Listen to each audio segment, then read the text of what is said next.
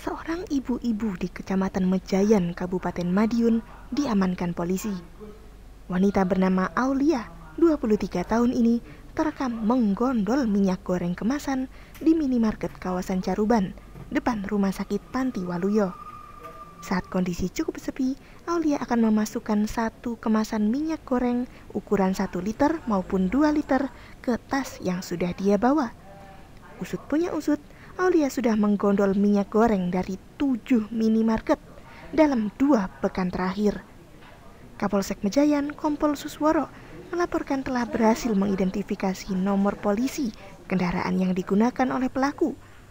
Minyak goreng curian ini lantas pelaku tawarkan ke pedagang lain demi mendapat keuntungan. Kompol Susworo lantas memancing pelaku untuk menyerahkan diri lewat nomor telepon yang ditinggalkan pelaku ke pedagang yang sempat ditawari.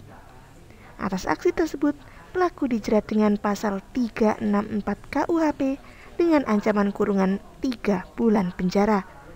Namun pelaku tidak ditahan, melainkan hanya diminta wajib lapor tiap hari Senin dan Kamis Hal ini dilakukan lantaran kerugian material yang diakibatkan tak sampai dua setengah juta rupiah.